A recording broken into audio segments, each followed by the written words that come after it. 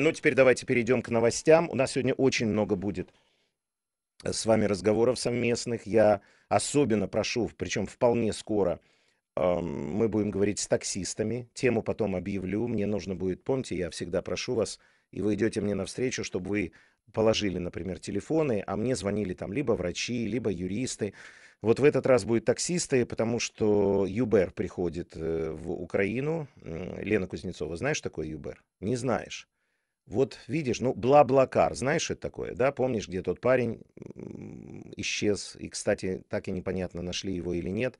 Но ясно, что он уже не живой, там кого-то поймали э, или кого-то не поймали. Вот эти вот его убийцы, они за границей, который на аудио подвозил через вот эту систему бла-блакар. Но приходит ЮБЕР в Украине. Это очень важное событие. ЮБЕР, моя дорогая, это когда у тебя телефон, на телефоне при, приложение, которое называется Uber, и через Uber ты заказываешь себе такси. Причем таксистом может быть вообще любой человек. Как это будет работать, я тебе потом объясню и всем объясню. Э, Uber это ну, действительно такая очень важная вещь для сервиса, но очень э, для, для твоего удобства. Да? Но проблема заключается в том, что к ней, естественно, очень неоднозначно относятся таксисты. И ты понимаешь почему. Потому что таксисты, они объединены в некие автопарки, Uh, у них вот эти вот там таблички, ну, знаешь, да, они, у них система, uh, система, так сказать, найма определенная, то есть устоявшаяся система там независимого государства, когда это свободный бизнес, но тем не менее объединенный вот в такие компании, да. А Бла-Блакар э, наносит этому делу чуть ли не смертельный, э, не, не Бла-Блакар, Юбер, понимаешь, да? Э, ЮБЕР — это когда ты регистрируешься, вот ты, ты сам регистрируешься не, там, в этом ЮБЕРе, ЮБЕР забирает у тебя, он, правда, забирает у тебя, если я не ошибаюсь, треть заработка, я потом прочитаю это все. Но сделано таким образом, что существует твой, твой профиль, и тебя можно заказать. Более того, можно заказать, ты поняла, не просто машину, а именно тебя. Вот если ты там куда-то едешь, понимаешь, да, то ты регистрируешь. В общем, тебе понятно. Это новая история, которая...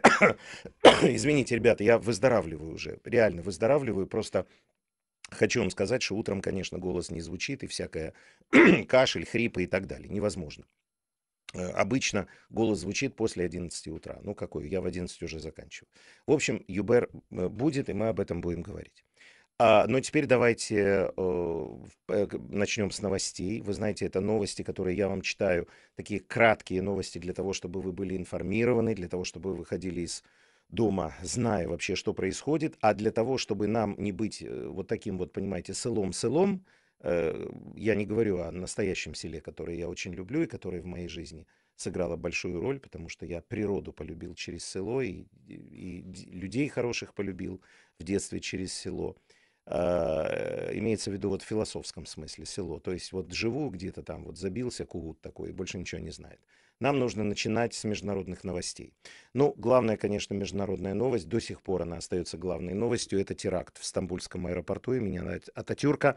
В результате нескольких взрывов и последовавшей перестрелки погиб как минимум 41 человек. Турецкие власти, возложившие ответственность за это преступление на исламское государство, скорее всего, не ошибаются, пишет Иван Яковина в своем обзоре, и стиль исполнения и выбранная цель указывают именно на авторство ИГИЛа. А, теракт в Стамбуле, видимо, связан с серьезным поражением боевиков в Ираке, где они только что потеряли город, город Фалуджа.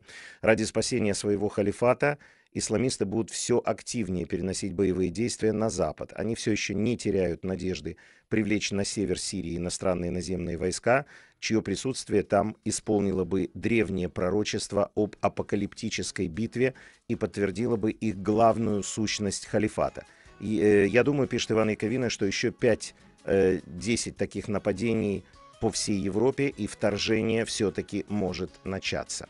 Мы сейчас сделаем паузу, послушаем новости, э, такие, э, а, простите, рекламу, сейчас реклама, 8.15, и после этого свежие новости в очень сжатом исполнении. Оставайтесь с нами. А, продолжаем. Я рассказываю про новости. В данном случае обзор Ивана Яковины. Он умеет, он замечательный журналист, он умеет журналист нового времени сайта, он умеет э, совершенно прекрасно, сжато подать новости. Э, и вот он пишет э, о вчерашнем важном событии. А, вы знаете, что вот первое, что я вам начал читать, это о том, что э, ИГИЛ может продолжить на фоне того, что взяли Фалуджу, он может э, продолжить террористические акты. И дальше Яковина пишет, на фоне этой новости совершенно удивительно выглядит неожиданное потепление российско-турецких отношений.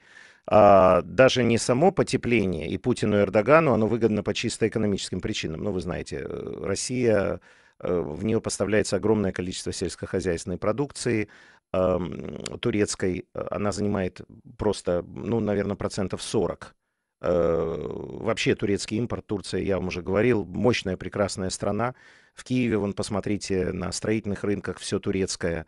Э, Турция это и дешевизна, и качество, в общем, только можно сказать за. Но о чем пишет Яковина? Даже не само потепление, и Путину и Эрдогану оно выгодно по чисто экономическим причинам, а следствие из него – снятие Кремлем, ограничение на полеты российских самолетов и туристов в Турцию. Можно же было хотя бы недельку подождать ради приличий. Ибо отказ от ограничений на полеты авиации на следующий день после жуткого теракта представляется чистейшим незамутненным цинизмом. Кстати, пишет Яковина, мы тут сейчас с вами станем свидетелем интересного эксперимента. Более полугода россиянам внушали, что Турция является самой злобной и чудовищной страной на планете, но, правда, после Украины. Сейчас зомбоящик резко без перерыва переключится на то, что Турция снова лучший друг. Интересно, что будет с мозгами потребителей пропаганды. Не пострадают ли? Не пострадают. Мозги россиян закаленные. Э, то говорили, что будет ДНР, ЛНР. Э, теперь это отдельные районы Донецкой и Луганской области. Вы помните, сначала говорили про Новороссию, потом Новороссия исчезла. Дальше, следующая новость. Интересно, что за день до примирения с Россией Эрдоган договорился о прекращении шестилетнего периода заморозки отношений с Израилем. Конфликт между этими странами начался из-за стремления Анкары установить свободное морское сообщение сектором Газа, прорвав израильскую блокаду. Израильтяне пресекли попытку прорыва, убив нескольких турок. Э, ну что значит нескольких турок? Там была операция израильский спецназ... Э, убил на судне более 30 человек, а, ну, наверное, среди них имеется в виду несколько турок, следовавших газу на судне Мави Мармара. После этого ранее приветливые отношения между странами стали просто враждебными. Э, теперь же Турция получила право отправлять в Газу гуманитарную помощь через израильский порт Ашдот, а также построить там электростанцию, больницу и опреснительную станцию – Э, взамен Израиль получит долю в освоении средиземноморских газовых месторождений, выгодные контракты для своей оборонной промышленности, в общем, хорошо для обоих. Но я вам напомню, я занимался этой проблемой, э, я очень хорошо помню эту историю, это бешеная была абсолютная история.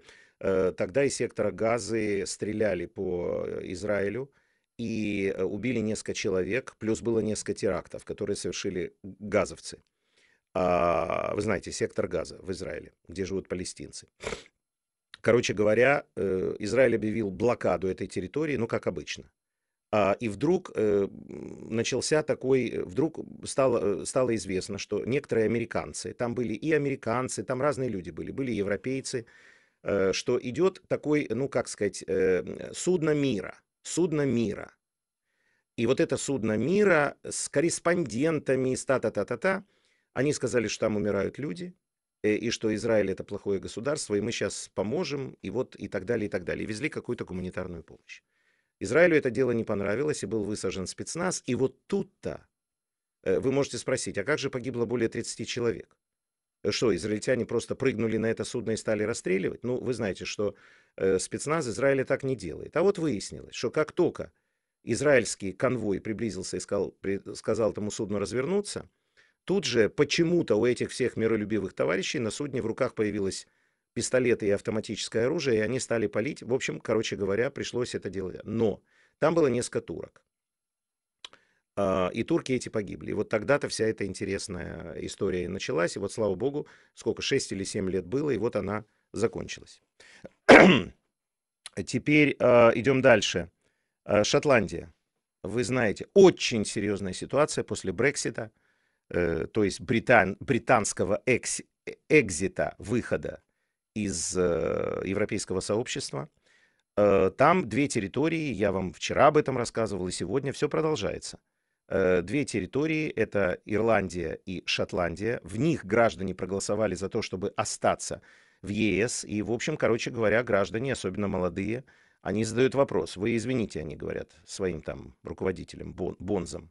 Они говорят, э, это как будет? Вот, значит, там проголосуют. Ну, а вы знаете, что они неровно дышат, они почти самостоятельное государство. Такое ДНР и ЛНР, только, э, только английские. И без терроризма, и без убийств. Э, просто такая, ну, федерация или конф... Нет, федерация, в основном федерация, можно так назвать. Так вот, Шотландия, похоже, всерьез взялась за реализацию идеи выхода из состава Великобритании, вышедшей, в свою очередь, из Евросоюза. Первый министр Шотландии Никола Стерджен, такая его фамилия, она сегодня э, слетала в Брюссель, где провела ряд встреч с руководством ЕС. Два года назад, когда Шотландия проводила референдум о выходе из Соединенного Королевства, Брюссель был категорически против, призывая Эдинбург одуматься и грозя ему отлучением от ЕС. Сейчас же, когда из ЕС вышла вся Великобритания, настроения там изменились, а шотландский национальный сепаратизм при условии ее сохранения в составе ЕС вызывает куда более позитивные эмоции. Евробюрократы страшно хотят наказать Великобританию за дезертирство, сделать ее жалкой и неуспешной, чтобы другим неповадно было думать об уходе. Вариант с развалом этой страны вполне годится для наказания строптивых бриттов. И я вам хочу сказать, что, ну, Иван Яковина так написал довольно жестко, но давайте без, э, без цацок. Э, действительно, это может произойти. Это вот абсолютно, э, вот, ну, формально это похоже на украинскую ситуацию, но без вмешательства, э, без вмешательства э, другого государства, то есть Российской Федерации. То есть э, вот, вот, например, знаете, это на что похоже? Ну вот, например, на Абхазию и на Южную Осетию.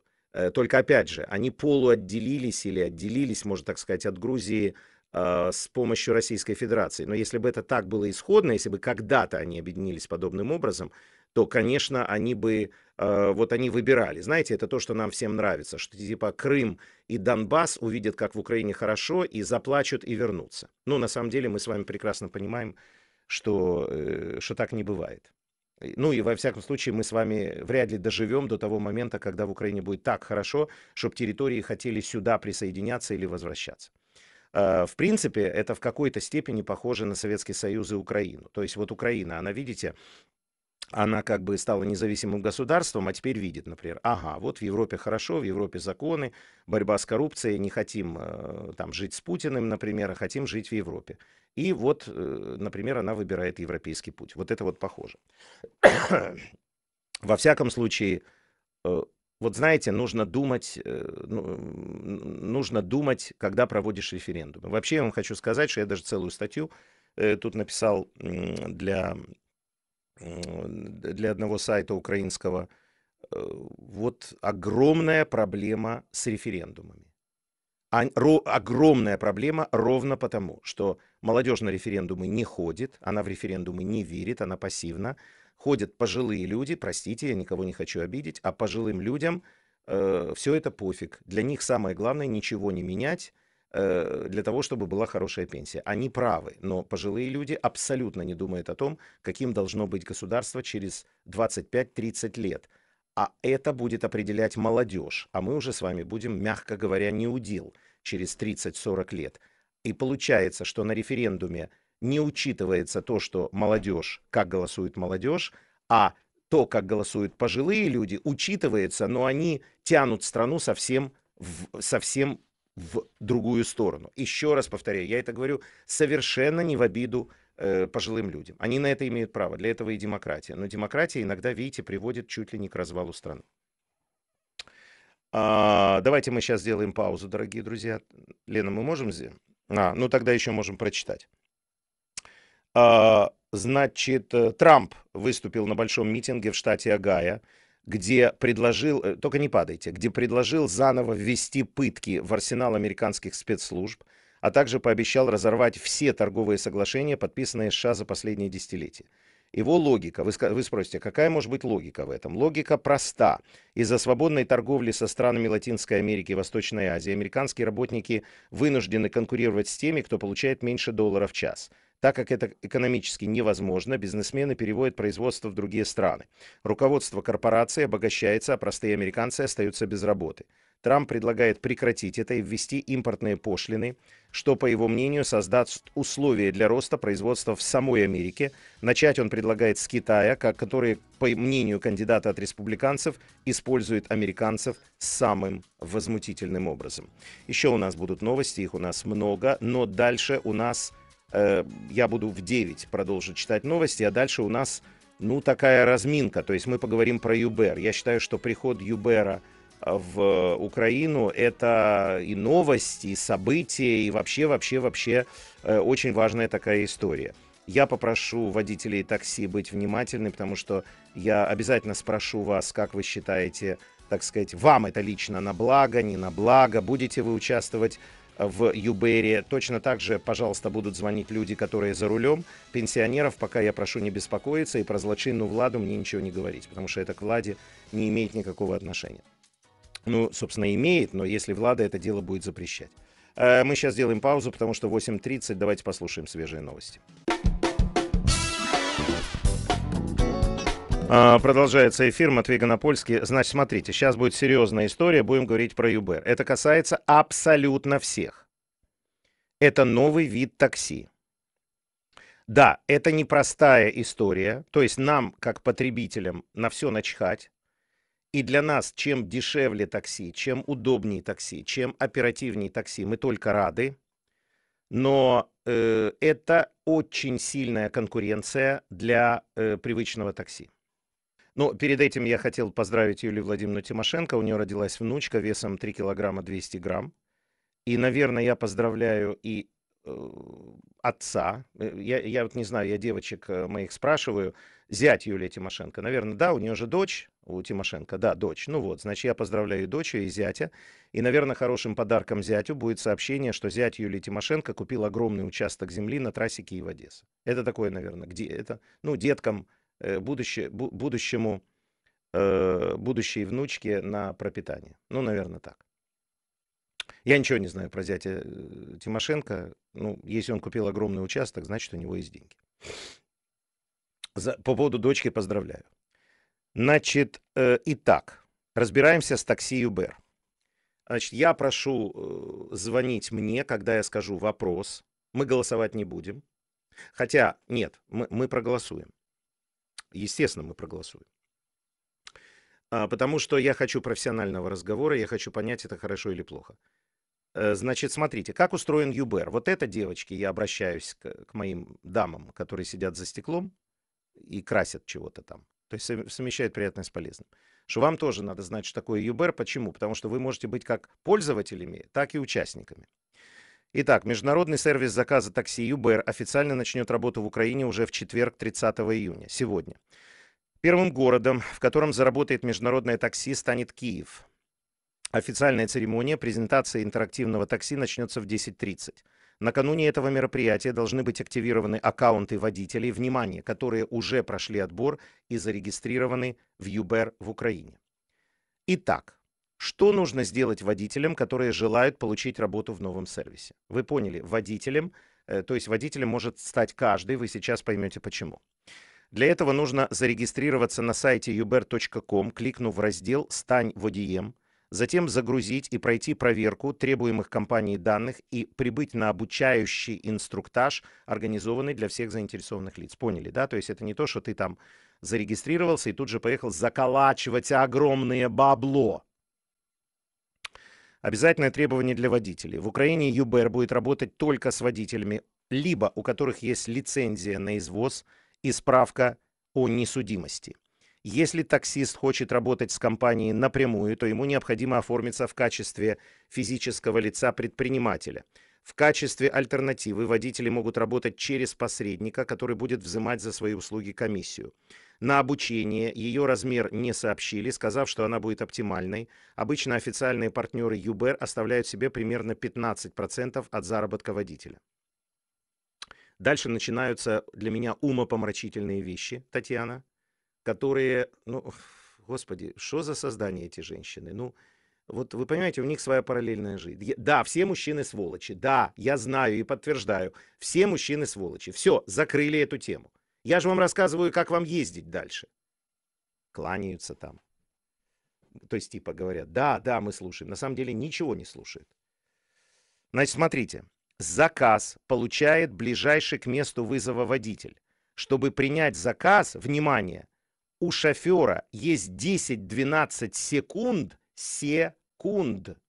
Иначе заявка клиента будет передана другому. Вы можете спросить, а как это? Ответ, не знаю, я ничего про это не знаю. Вот вы потом позвоните и мне расскажете. Я ничего не знаю. Водителем Юбера я не буду. Почему? Потому что мне будут садиться и говорить, «О, а на польский, это ты ведешь передачу? А ну давай сделаем селфи. А повези меня бесплатно, ты ж богатый». Вот это будет. Как формируются тарифы? Базовая ставка, плата за подачу, плюс тариф за километр, плюс тариф за минуты. Конкретные суммы пока озвучены не были. Это будет сделано на официальном запуске сервиса. Поскольку в тарифе учитывается и время, то в ситуации, когда пассажир захочет остановиться для похода за хлебом, это будет учтено в стоимости поездки.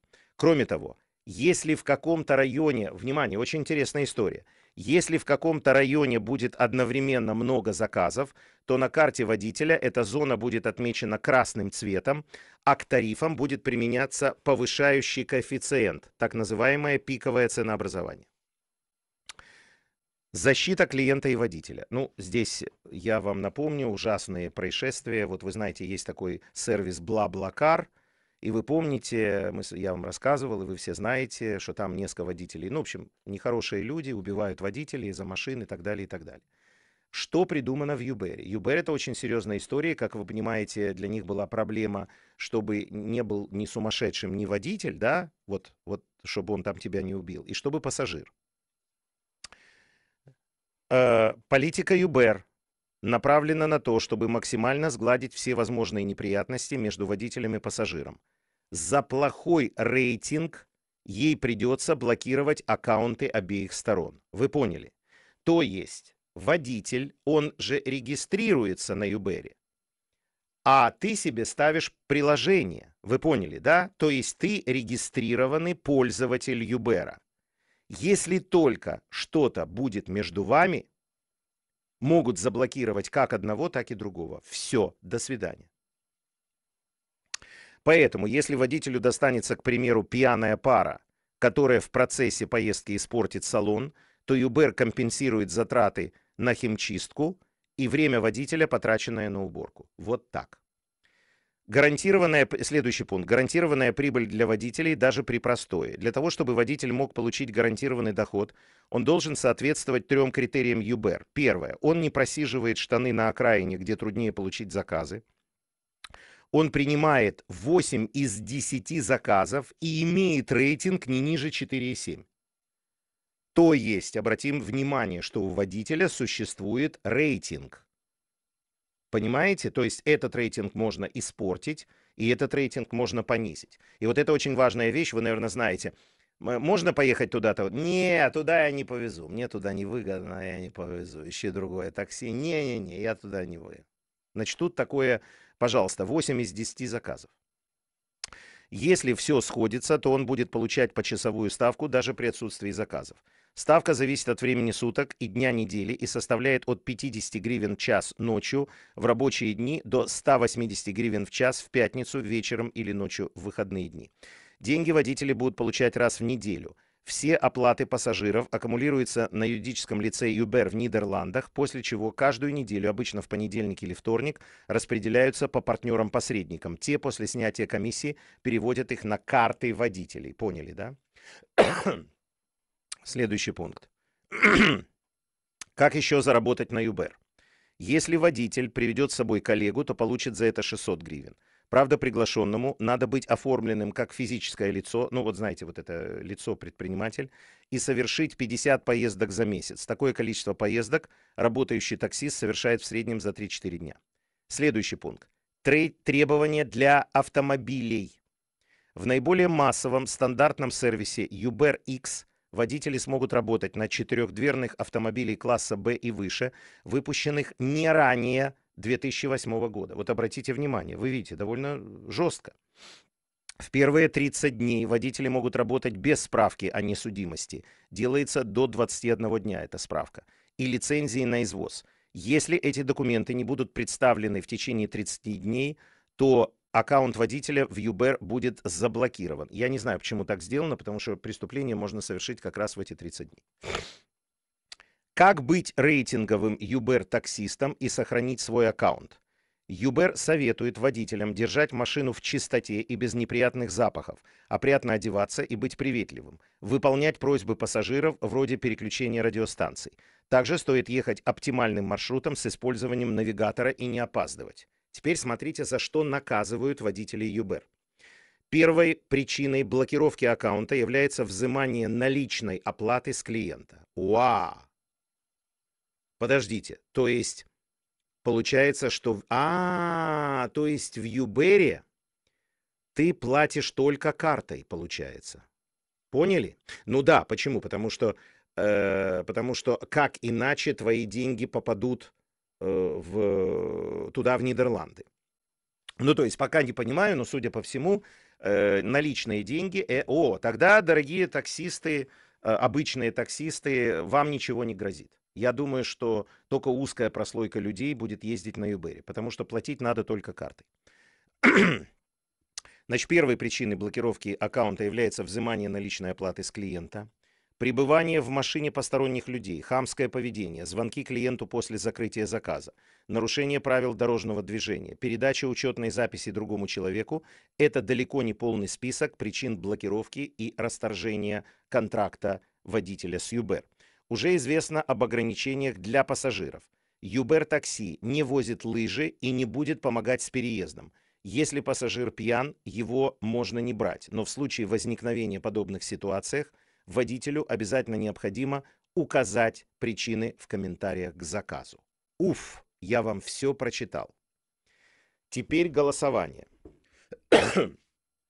Считаете ли вы появление Юбера благом для вас, как, как пользователей такси? Считаете ли вы это благом? Да, я, первый вариант у нас всегда да. Да, я считаю это благом. Тогда наберите 044 323 4052. Вы считаете, что это новая форма, хорошая, ей можно пользоваться и так далее. 044 323 4052. Второй вариант. Нет, я считаю, что это зло. Я не знаю, почему вы считаете, что это зло. Не знаю, потому что импортное, потому что дьявол, потому что э, там цифры 666. Я не знаю, почему вы можете себе э, утром в 8 часов 48 минут придумать, что это зло. Но можете. Тогда это зло для нас, для пользователей, не для Великой Украины, а для вас, как для пользователей такси э, как для людей, которые из пункта А в пункт Б хотят переместиться. Тогда 044 323 40 42. Теперь сразу же наш телефон 044 536 96 00. Прошу всех повесить трубки. Звонят только водители или те люди, которые таксисты звонят. Вот будете ли вы участвовать в Юбере? Хотите ли вы в этом поучаствовать? Будете ли вы, вот считаете ли вы, что это правильно? И так далее, и так далее. Не забывайте представляться. Э, всякие э, товарищи, которые будут читать стихи, э, говорить про Иисуса. Э, тут про Иисуса будем говорить в празднике. Тут Иисус ни при чем. Э, Иисус дает нам жизнь. Э, а вот Юбер это мы делаем. Слушаем вас. Доброе утро. Доброе утро. Это Станислав, город Черноморск, бывший Ильичевск, таксист. Я считаю, что э, не навредит оно, по крайней мере, у нас в городе Юбер для нас. Станислав, можно вам задать несколько вопросов? Конечно, конечно. Вот э, я не понимаю, как не повредит. Смотрите, вы, наверное, слышали, я не знаю, или видели, во Франции, в Германии, в Англии были просто демонстрации против Юбера, потому что Юбер это э, альтер, ну, не альтернатива, а сильнейшая конкуренция традиционным такси. Почему вы считаете, что не повредит? Э, смотрите, первое, это надо патент, лицензия, патент предпринимателя, лицензия. Второе и третье, это кредитная карточка, не брать наличные. А так как мы на фирме, мы еще платим план. План, например, у нас 300 гривен на неделю. Понимаете? Так, так ну. А плюс, если ты еще хочешь э, работать так и так, то это двойной план тебе надо отдавать. И ЮБР, и в фирме. Поэтому нам это, по крайней мере, не навредит, не навредит. То есть, главное, почему вы считаете, что вам не навредит, это то, что там расчет только карточкой, а людям выгодно платить наличными, поэтому? Да, да, да. Вот потому что у нас в основном нету карточек. Ну, я имею в виду терминала, потому что это еще дороже будет тогда проехать в городу. Хорошо. А вот вы сами, вы, э, вы, вы водитель такси? Да. Вы э, перейдете в Uber или вы останетесь в традиционном такси, в котором вы сейчас работаете? На данный момент по этим условиям это мне невыгодно. Невыгодно. Огромное вам... Какая у вас погода, Станислав? Ну, вчера был ливень, я вам скажу, такой хороший. Сейчас так пасмурно. Вы не, не, не погибаете от жары? Водичку возите с собой? Нет, с собой, конечно. Спасибо за беспокойство. Спасибо вам, дорогой. Как вы Спасибо. считаете, тема Юбера важная для, с- для Украины? Она важная, но не принципиальная, я вам честно скажу. Хорошо, если бы вы проголосовали, э, это благо для, для, для пассажиров или зло, вы проголосовали бы за что? Сложно, сложно сказать, потому что не то, не то, я думаю. Ух ты как! Ну, если выбрать, вы же знаете мою позицию, надо что-то выбрать. Ну хорошо, давайте тогда пускай будет первое. Все-таки благо. Спасибо вам большое, что нашли возможность. Вы возле вокзала или где вы? Не-не-не, это рация просто говорит, я же сказал, что я таксист. Передайте им, что все хорошо. Спасибо, спасибо. Спасибо вам. Так, за, голосование. От- смотрю, там идет голосование или нет сейчас. О, идет голосование. Значит, Юбер, если это благо вы считаете, 044 323 40 52. Если вы считаете, что это зло, еще раз, не знаю, почему зло. 044 323 40 42. Звонят только таксисты или люди, которые все знают про Юбер, или те люди, которые хотят в этом участвовать. Доброе утро. Доброе утро. Кто вы, откуда? Меня зовут Максим, уже год работаю в Киеве таксистом. Так, Максим, ну давайте ваше авторитетное мнение. Что скажете? Про Uber скажу, что это очень полезно для города Киева однозначно. Почему? Ну, Конкуренция – это всегда большой-большой плюс. Хватит, э, Максим, и так конкуренция. 200 автопарков, э, понимаете, д- 300 тысяч водителей, и так работы нет. А еще вдруг Нет, влезают я- эти я- иностранцы. Я имею в виду, вот смотрите, например, Элит Такси наконец-то запустила свое приложение, которое э, 6 лет готовило. А что, Такси, подождите, подождите, стоп, стоп, ничего не знаю про элит такси. Что это такое?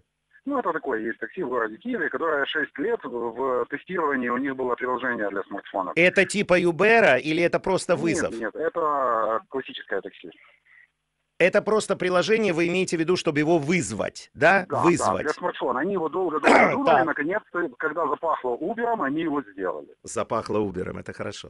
Потом Так, э, есть дальше. еще один такой, как бы, мэтр дешевого такси в городе Киеве. Наверное, не стоит называть название в эфире, да? Да, говорите, я вас А, один раз можно. Я... Называется, называется «Уклон». То есть он под себя собирает все вот эти 200-300 служб, что вы говорите. Боже, какое же, какое жут... Максим, работ- какое жуткое название. Уклон. Это, это же надо умудриться. Ну Не, да. не полет, не взлет, а уклон. Ну вот смотрите, он тоже работал очень кустарно. А сейчас, когда запахло Uber, они начали набирать водителей, заключать договора, смотреть машины, видеть водителей, видеть качество, говорить о каком-то там обслуживании. Хотя раньше об этом речь не шла. Водители нанимали на работу по телефону, смс отправляли когда доступа, даже не спрашивая, есть ли у тебя права. Ух ты, даже так было? Да, было, есть по сей день, Обалдеть, серьезно? да. Как это не спрашивали, есть у тебя права? Я вам хочу сказать, что вы можете ради интереса позвонить в какую-то из служб, сказать, что у вас есть опыт. Они вам смс-кой сбросят коды доступа к программе. Вы пополните через терминал пополнения себе на 50 там, или сколько-то гривен э, счет и возите на здоровье. Боже мой, какой ужас. Так что а Uber на сегодняшний день он требует э, все документы на автомобиль, на водителя, Так, лицензию, паспорт, прописки, э, страховки. То есть это очень полезно. да, смотрите, говорим про Uber, а выясняется, да чего я тут сижу на этом радио? И... Еще я вам хочу сказать, для водителя это очень полезно Uber. Почему? То, что- то, что предыдущий водитель говорил безнал, э, это минус, это большой плюс. Потому что, когда ты работаешь водителем, я говорил уже, что я не профессионал, я год этим занимаюсь. Так. А, Для меня лично, я думаю, что для многих, главное это не попасть на упыря э, какого-то пассажира. Потому что, вы Так. знаете, режут таксистов за 100 гривен. Так, подождите. А, А, вы имеете в виду, что Да, все будут да, знать, что он- только карточкой и... Да, он и нет- он, А. там прописан карточкой, там прописан его мобильный телефон. То есть, когда я везу этого пассажира, я относительно спокоен, понятно, на 100% спокойным никто не может быть. Да, да, да, да, да, вы правы. И не надо нападать на таксиста. э, ну, вообще не надо нападать на таксиста. Абсолютно правильно. Нет, нет кэша, нет кассы. То есть, все в безнале. Вот смотрите, как интересно. Хорошо, мой дорогой, а вы э, сами, например, с- э, склонны поработать с Юбером или нет? Конечно, моя заявка там висит уже полгода, наверное. Серьезно? Да. Хорошо. Значит, давайте Давайте сформулируем. Дело в том, э, что в этом часе вы последний, э, с вами я разговариваю, а в следующем часе мы продолжим эту же тему. Значит, несколько пунктов, почему ЮБР может быть полезный для э, Украины. Пожалуйста несколько пунктов. Но, э, ну, конкуренция, я уже говорил, наверное, даже не конкуренция, а выведет э, этот бизнес на, на новый уровень. И, к сожалению, деться от этого некуда. Так. За это большое спасибо Uber. И я думаю, что вот эти сотни фирм, которые на сегодняшний день присутствуют, они будут вынуждены просто умереть. Но это а... же безработица для людей. Вы знаете, чем такая работица, то, наверное, лучше безработица. Понятно, да. Второе, безопасность для собственного водителя и, и, и в принципе, для пассажира. Так. Ну, в любом случае, в этом, ну, с приходом Uber а, в любом случае выигрывает пассажир. А вы знаете, какая для меня самая важная в этом деталь? Знаете, какая, Максим? Какая? Вот эта система рейтинга. То, что вы можете... Э, и, в, и он вам... Понимаете, вы же как пассажир тоже зарегистрированы. Ну да, вы имеете в виду двухсторонний рейтинг. Двусторонний рейтинг, да. Для меня это очень важно. Вот абсолютно, понимаете... Э, абсолютно. А, Поэтому а, я вам и говорю, меньше возможность попасть на ОПР какого-то пассажира. И, ну, и водителя тоже. И водителя, и водителя тоже, тоже, да. Безусловно. Мой дорогой, спасибо вам большое. Спасибо, спасибо, спасибо. Очень важно. Вот видите, я через вас открываю Юбер. Я про Юбер ничего не знал. Э, ну, есть такая система. У меня своя машина, я на ней еду. Чтобы никто не кричал, о, Ганапольский, давай. Давай, иди, иди сюда. А, значит, смотрите, сейчас мы делаем паузу. Сейчас большие новости. Ну что значит большие? 4 минуты. После этого в 9.05 я дальше вас слушаю до 15 минут. Это у нас такая правильная разминка, важная. И до 15 минут мы с вами э, говорим на эту тему. И водители, водители, пожалуйста, водители, и те, кто хочет, э, и так далее, плюс, минус и прочее, прочее. Значит, еще напоминаю, э, продолжается голосование. ЮБР это благо для нас всех. 044 323 40 52. Нет, это зло. 044 323 40 42. Матвей Гонопольский ведет утренний эфир, и больше, собственно, нечего слушать, сказал я самодовольно похвалив сам себя. Сейчас вот я пойду, девочки меня будут хвалить, они тортик принесли, вру, ни черта они не принесли, сидят две злобные фурии. Э, я пошел к ним. Оставайтесь с нами. Э, продолжаем про ЮБР. Э, я считаю это громадным событием для Украины. Вот знаете, здесь я вижу очень много общего. Вы помните вчера наше голосование, вообще наш вчерашний разговор по поводу партии Сакварлидзе и Косько? А, этот разговор был вчера в огромном объеме продолжен на канале News One. И мы там вместе с умной головой, э, замечательным нашим э, политологом и с Василием Апасовым говорили о поразительном феномене Украины. Вот э, украинцам все равно, какой нации или какой национальности человек, который делает дело. В широком смысле этого слова. Там появилась, там звонила одна женщина, я не знаю, тот, кто слышал вчерашнюю передачу, видел ее, она сказала, да мне все равно, из какой он страны, лишь бы он делом занимался. Или страны, она сказала, или что.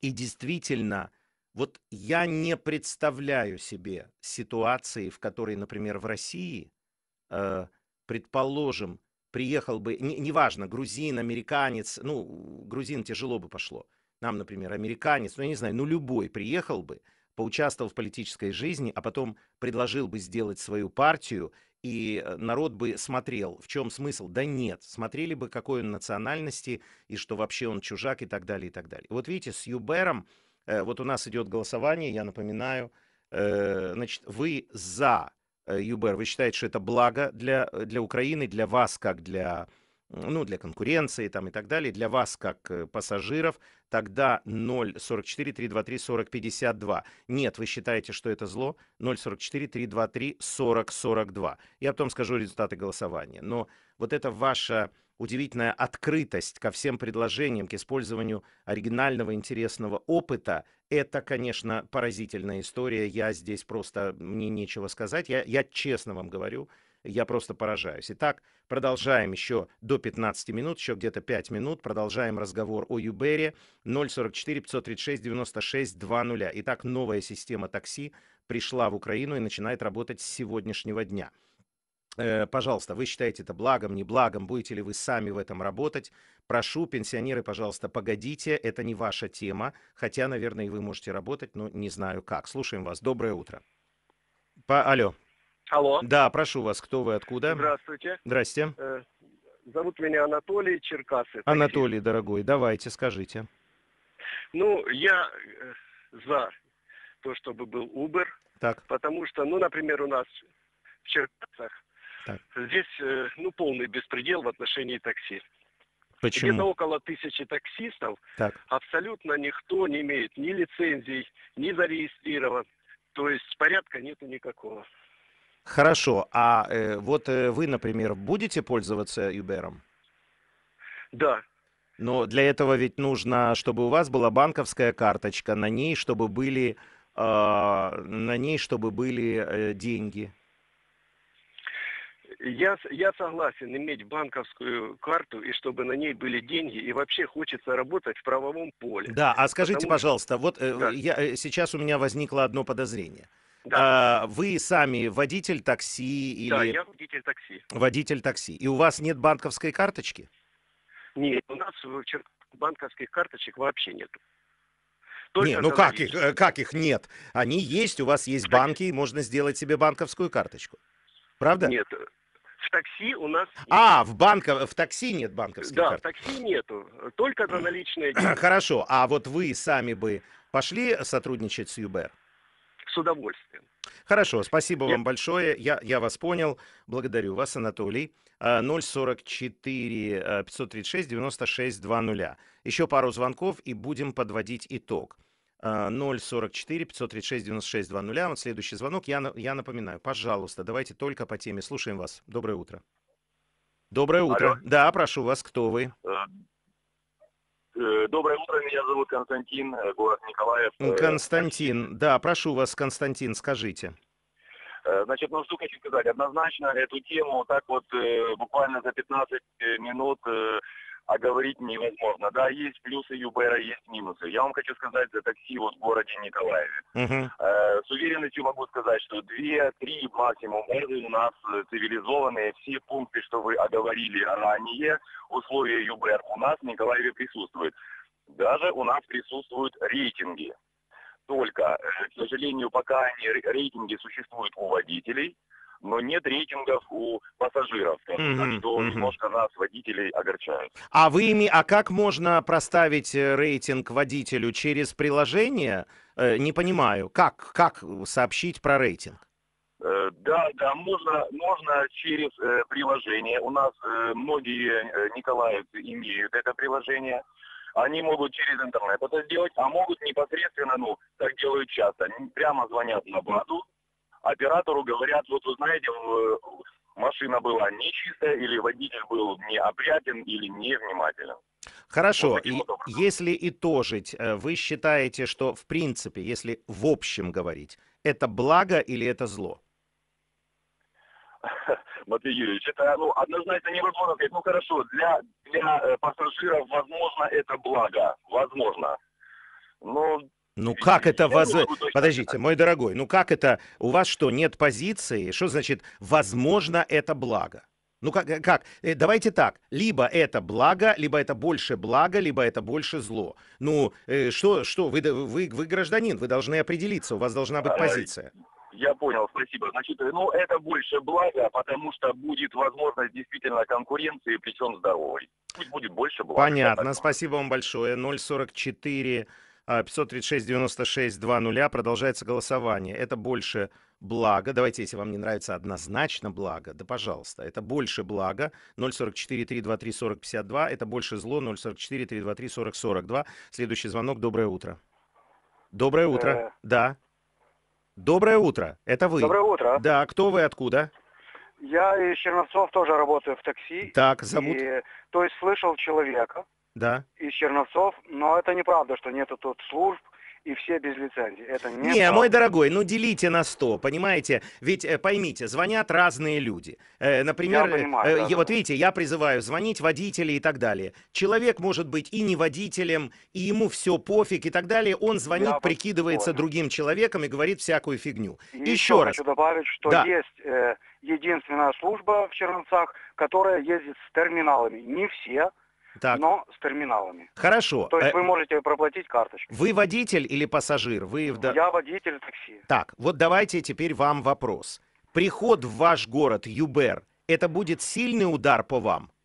Будет, будет очень-очень, ну, плохо, плохо будет. Почему? Они же только по карточкам. В основном люди едут за наличные. Ну, в принципе, да. Ну, так какой же это Ну, я- удар по вам? Тут же э, ка- какая ситуация? Тут может любой человек зарегистрироваться, как бы и не работая в такси, возить людей. Не, подождите, вы не слышали э, начала э, того, что я рассказывал? Вы, наверное, Ага. подключились позже, да? Да, да, чуть позже. Значит, успо- я могу вас успокоить. Не любой человек. Вы должны зарегистрироваться как индивидуальный предприниматель.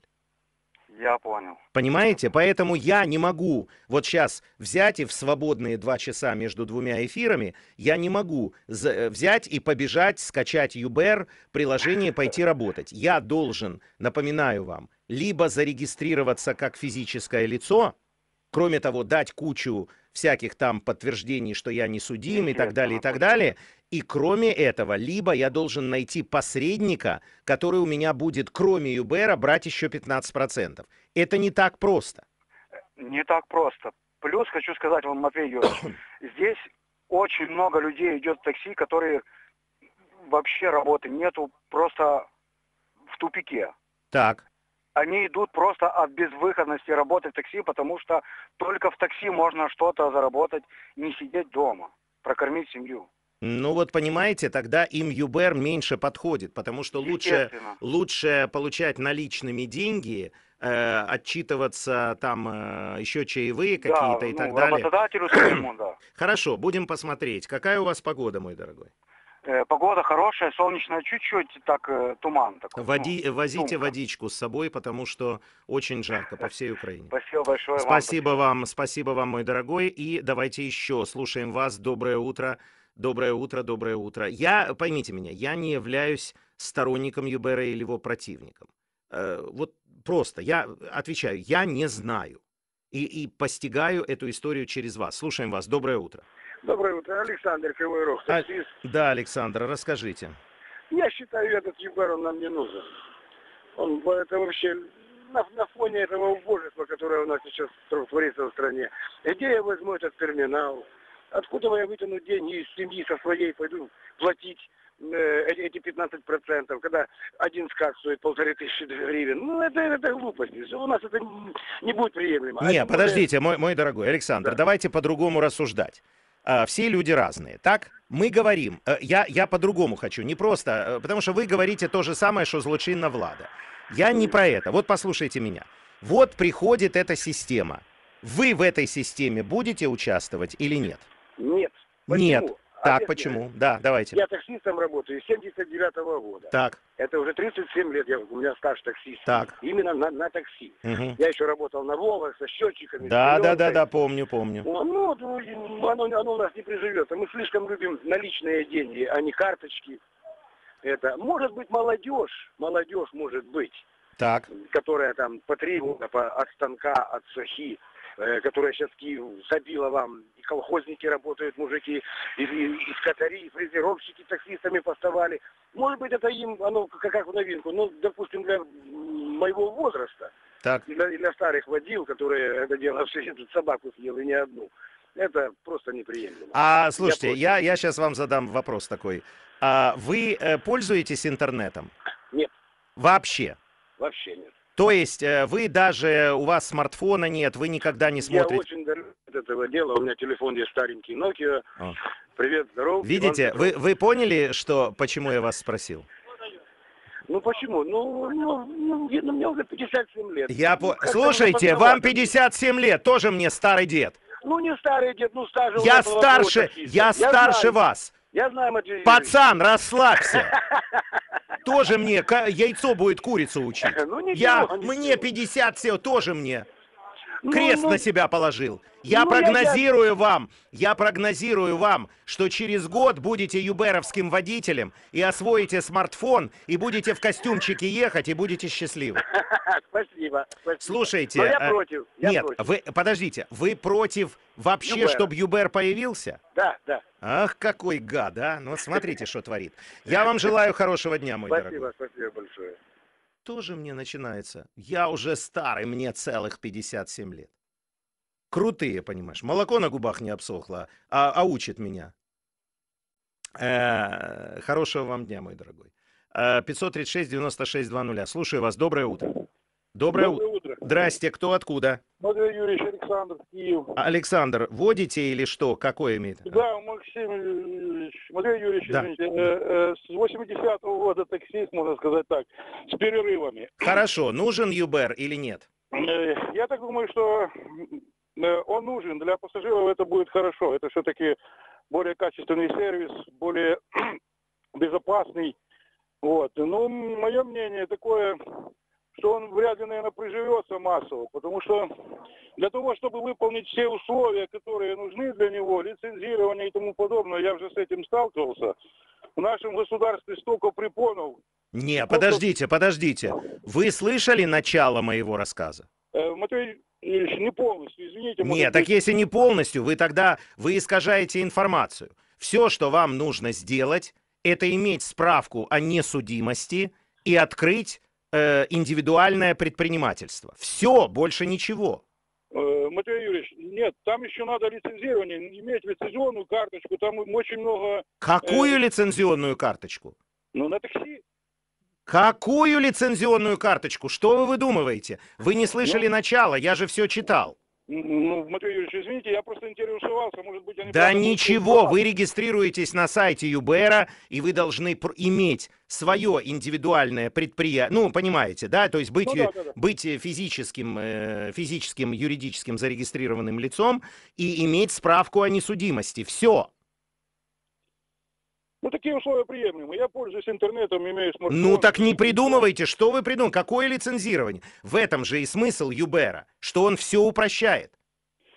Но у нас сейчас вот есть фирмы, которые занимаются извозом, как бы, как так назовем их такси, но это не такси, это э, организация или фирма, которая продает э, водителю заказ просто за деньги, за проценты. А по факту работать таксистом, для этого надо иметь управление, разрешение на работу именно таксистом, э, медкомиссию проходить каждый день. Так иметь вот это, вот это, мой дорогой, и упрощает. Слушайте, я не рекламирую. Э, п- Знаете как, давайте сделаем так. Вот Ну, видите, попробуем, да? давайте, ну, не- я вас не призываю, я не являюсь агентом Юбера. Мне как-то все равно. Я как... Спасибо вам большое, не буду вас держать. Э, Я просто как гражданин, как, как человек, который пользуется, ну, вернее, не гражданин, гражданин все-таки социальное явление, это будет последний звонок. Э, Как человек, который пользуется, как юзер, как пользователь, я, естественно, думаю о том, как сделать, чтобы передвигаться по городу было удобно. Вот все, я, э, понимаете, меня больше ничего не интересует. Но как ведущий, как человек, который исследует процесс, я очень забочусь о том, чтобы присутствие Юбера не нанесло удар, э, чтобы люди не остались без работы, потому что вот эта легкость э, подключения к Юберу, она диктует, понимаете, она может откорректировать рынок труда и многие могут потерять работу. Но я уже вижу некоторые, так сказать, ограничения. Э, Ну вот, например, наличие карточки, понимаете, банковской. Я напоминаю для тех, кто позже подключился, что расчет только банковской карточкой. Следовательно, э, люди, которых, э, которые в основном пользуются наличными, а таких большинство, они будут пользоваться традиционным такси. У многих вообще банковских карточек нет. Слушаем вас. Доброе утро, пожалуйста. Доброго дня. Да, вітаю вас, будь ласка. Пане Матвію, перше коротко підсумувати ваше голосування. Звичайно, Хто е, дзвонить? Uber. Бу- Хто дз- Андрій Київ, Андрій Київ. Так, будь ласка, Андрію. А, діло в тому, що Uber, звичайно, підніме на абсолютно новий рівень а, службу таксі і таксі як вид підприємництва. По-друге, попередній е, користувач, е, якого ви, якому ви сказали, що він там салага і ще молодий, звичайно, він проти е, е, таксі е, Uber через те, що е, от зверніть увагу на вокзалі в Києві, таксісти, які беруть замовлення, вони ж можуть е, на неопитному якомусь користувачу і три щотчика назвати, і чотири, і скільки хочеш, правильно? А в Uber це буде неможливо. Там є фіксована оплата за кілометр. Так, і, Це і перше. ну, це так, позитив мається на увазі, що так. вас не, не обідруть до литки. Так, до далі, литки. Другий далі. момент. Другий момент. Ніякого терміналу вам. Для того, аби зареєструватися в Uber, чи як клієнт, чи як е, водій, ви прив'язуєте вже в інтернеті свою картку. І тому, коли я присідаю до Матвія Юрійовича в машину і хочу, щоб він мене підвіз, то я в своїй програмі, в смартфоні своєму, нажимаю на кнопочку ОК, і після того зразу ж з моєї карточки перераховуються кошти Матвію Юрійовичу за те, що він мене підвіз. Ми, оцей пункт для мене дуже приємний, тому що мені, мені не перераховуються кошти. Я, е, е, я, я, я бажаю, щоб і, е, е, щоб і наступні пункти були такі самі, щоб мені щось момент, перераховували. найважливіший третій момент це якість таксі. Я не знаю, як е, ви своїм авто користуєтесь, я також, але е, дружина неодноразово замовляє таксі, і буває приїжджають і неякісні, і не в стані технічному. Ну е, а як на них попливати? Він приїхав, ти поспішаєш, ти викликав таксі, і все, крапка. Тобі вже потрібно їхати. Ну, а він звичайно, приїжджає, звичайно. машина, неякісна, водій упиє. Давай, давайте так, Андрію. Мені здається, що ви таємний, що ви і є керівник Юберу, який приїхав і який, значить, свій процентик імеє. Давайте інакше скажемо. Е, давайте е, повернемо трохи. Ну, Так. ви вже будете тою людиною, яка закриває цю тему в нашому обговоренні. До речі, я вам хочу сказати. Е, Наслідки голосування 77% вважають, що це безумовна Благо. користь. Ну, так? все, от 23, що ні. Значить, от дивіться, давайте скажемо не з точки зору там приємного таксі, нормальної там нормального костюма у нього, ну і так далі. Там, ну ви розумієте, всі оці Да. бла бла бла.